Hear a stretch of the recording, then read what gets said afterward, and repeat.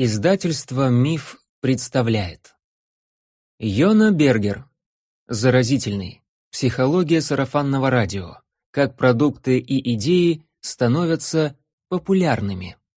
Читает Илья Слоневский. Посвящается моей матери, отцу и бабушке. Спасибо, что всегда верили в меня. Введение. Почему вещи входят в моду? К моменту переезда в Филадельфию в марте 2004 года Говард Вейн уже имел большой опыт работы в гостиничной индустрии. Он получил степень MBA в гостиничном хозяйстве, способствовал отдельной сети Starwood Hotels в запуске бренда W и управлял миллиардами долларов дохода в качестве корпоративного директора ресторанной службы Starwood. Но хватит крупных дел, решил он. Ему хотелось чего-то покомпактнее, ресторанного бизнеса, например. Так что Говард переехал в Филадельфию, чтобы помочь разработать и запустить новый эксклюзивный стейкхаус под названием Бакли Прайм.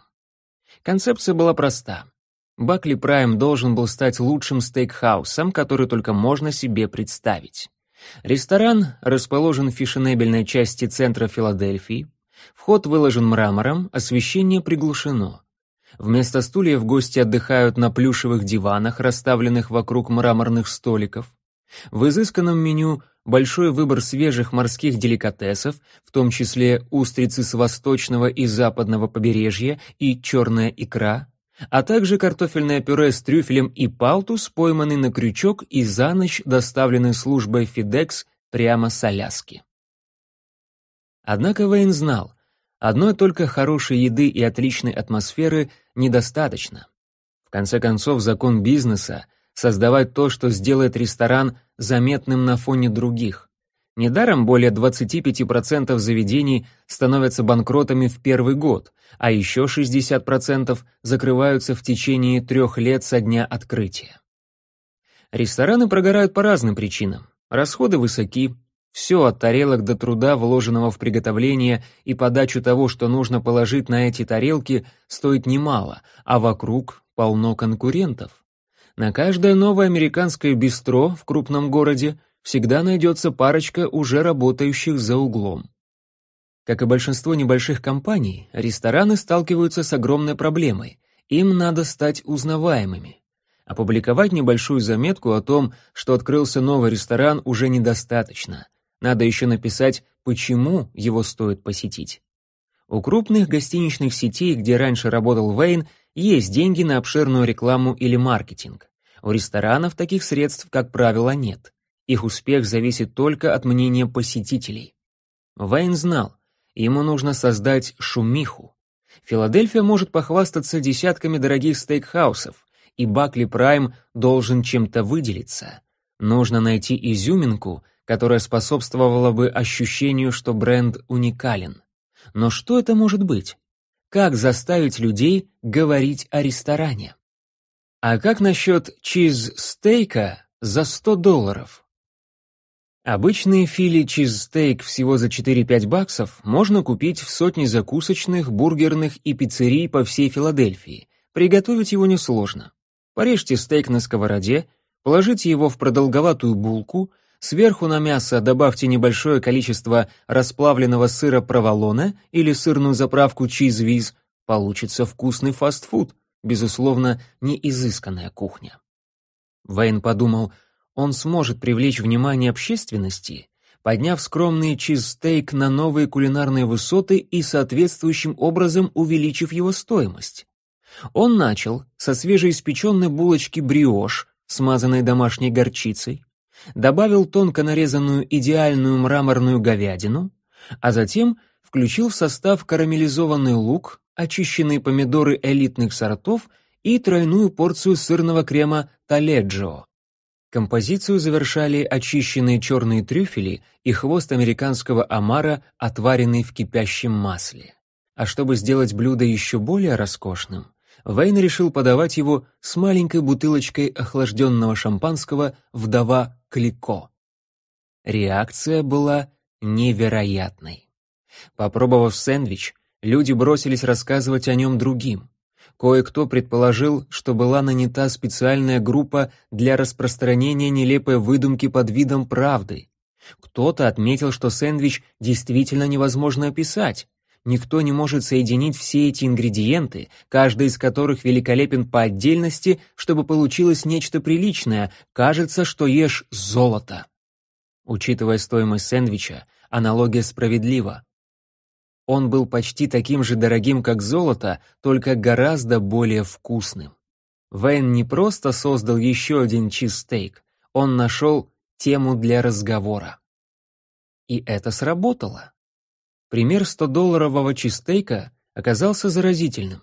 Поговорите с любым посетителем Бакли Прайм, о чизстейке, скорее всего, упомянут, даже если не заказывали. И даже если никогда не были в этом ресторане, тоже упомянут. Это событие. И событие настолько интересное, что газеты USA Today, The Wall Street Journal и другие средства массовой информации опубликовали заметки о сэндвиче. Discovery Channel снял для своей программы эпизод «Лучшая еда всех времен и народов». Дэвид Бекхэм, будучи в городе, заказывал его. Дэвид Леттерман пригласил шеф-повара Бакли в Нью-Йорк, чтобы тот приготовил ему сэндвич на вечернем шоу с Дэвидом Леттерманом, а причиной шумихи, ее изюминкой, являлся просто сэндвич. Шумиха помогла. Бакли Прайм открылся почти 10 лет назад. Несмотря на все трудности, ресторан не только работает до сих пор, но и процветает. Он завоевал множество наград в области индустрии питания и год за годом входит в список лучших стейкхаусов Филадельфии, и что еще важнее, шумиха привела к тому, что Бакли Прайм вошел в моду. Почему некоторые продукты, идеи и стереотипы поведения входят в моду? Существует множество вещей, вошедших в моду. Желтые браслеты Live Strong, обезжиренный греческий йогурт, стратегия управления 6 сигм, запрет на курение, диеты с низким содержанием жиров, затем диета Аткинса, диета южного пляжа и ажиотаж вокруг продуктов с низким содержанием углеводов. Подобная динамика наблюдается и на местном уровне, только в меньших масштабах. Какой-нибудь тренажерный зал становится модным местом, или новая церковь, или синагога, или идея школьного референдума. Все это примеры социальных эпидемий, случаи, когда продукты, идеи и стереотипы поведения выходят в народ. Все начинается с небольшого круга лиц или организаций и распространяется от человека к человеку словно вирус. Иногда, как в случае 100-долларовых чизстейков, как вирус запредельно разорительный. Хотя примеры социального заражения найти легко, создать что-либо действительно модное непросто. Даже после вложения огромного количества денег в рекламу и маркетинг, очень немногие разрекламированные продукты стали популярными. Большинство ресторанов разоряется, большинство компаний закрывается, а большинство общественных движений не в состоянии набрать обороты. Так почему же некоторые продукты, идеи и стереотипы поведения распространяются, а другие уходят бесследно? Одна из причин, по которой продукты и идеи становятся популярными, в том, что они на самом деле лучше аналогов. Обычно мы предпочитаем более простые в использовании сайты, более эффективные лекарства, истинные, а не ложные научные теории. Поэтому, когда появляется нечто, предоставляющее больше возможностей или лучше работающее, люди, скорее всего, переключатся на него. Вспомните, какими массивными были раньше телевизоры и мониторы компьютеров, какими тяжелыми и громоздкими. Чтобы поднять такой по лестнице в квартиру, нужно было просить о помощи друзей или рисковать потянуть спину. Одна из причин популярности плоских экранов в том, что они лучше. Мало того, что у них большая диагональ, так они и весят меньше. Неудивительно, что они популярны. Другая причина распространения продуктов Привлекательная цена. Вполне закономерно, что большинство людей предпочитают платить меньше, а не больше.